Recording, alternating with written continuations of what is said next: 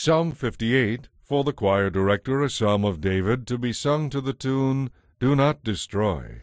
Justice. Do you rulers know the meaning of the word? Do you judge the people fairly? No, all your dealings are crooked. You hand out violence instead of justice. These wicked people are born sinners. Even from birth they have lied and gone their own way. They spit poison like deadly snakes. They are like cobras that refuse to listen, ignoring the tunes of the snake charmers, no matter how skilfully they play. Break off their fangs, O God.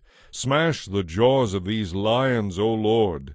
May they disappear like water into thirsty ground.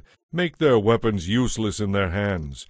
May they be like snails that dissolve into slime, like a stillborn child who will never see the sun. God will sweep them away, both young and old, faster than a pot heats on an open flame. The godly will rejoice when they see injustice avenged.